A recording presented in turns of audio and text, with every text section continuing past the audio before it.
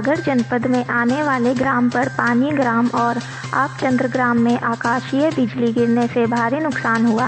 बरपानी ग्राम में आकाशीय बिजली गिरने से तीन भैंसों की मौत हो गई और गाँव वालों को भी नुकसान पहुँचा। भैंसों की कीमत एक लाख साठ हज़ार रुपये बताई जा रही है और आपचंद ग्राम में आकाशीय बिजली गिरने से एक बुज़ुर्ग आदमी झुलस गया। दो जगह मुआयना करने पहुँचे पटवारी तहसील और आरआई।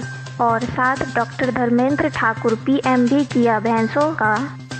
क्या नाम है दादा आपका? वृंदावन। तो जी आकाशीय बिजली कब गिरी? डेढ़ बजे रात को। आप कहाँ थे? बिस्तर में बैठी थी। तो आपको चोटें कहाँ कहाँ आई? पैर हो गए खराब डायन वालो डेरे हाथ में चोट है पीठ में मुत की चोटें हैं? क्या नाम है आपका? राजेंद्र। तो जी आकाशीय बिजली कब गिरी? जा गिरी है डेढ़ बजे। रात में? रात में। तो आप कहाँ थे जब गिरी? हम लोग सो रहे थे खाना तो सुबह उठे। ये जो तीन भैंसे मृत हो गई हैं। ये उसी टाइम की घटना है? हाँ उसी टाइम की घटना है। ये आपकी भैंसे लगभग कितने कीमत की है? एक एक भैंस है पैंसठ हज़ार रुपये की।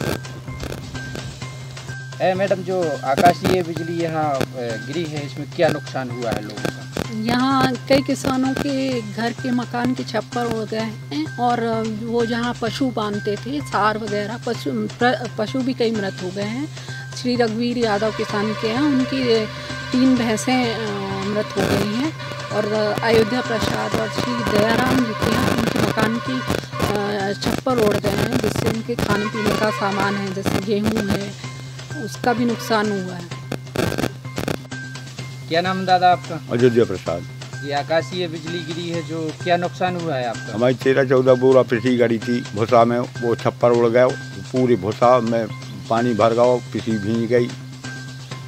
कपड़ा अपना फूटे सुबह तो ठीक है मगर पिसी को नुकसान सबसे बड़ा है। तो यहाँ मुआयना करने कौन कौन आए अधिकारी?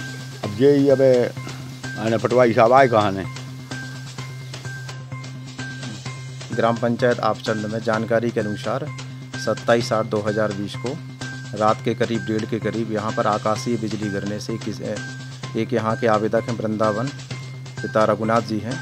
इनके घर पर आकाशीय बिजली गिरने के कारण से थोड़ी सी एक दीवार गिर गई है और थोड़ी सी इनको मामूली चोटें आई हैं और ज़्यादा जनहानि ऐसी कोई नहीं हुई है प्राप्त जानकारी के अनुसार और मौके पर यहाँ आकर के उनका सर्वे किया गया और पूरा निरीक्षण किया गया।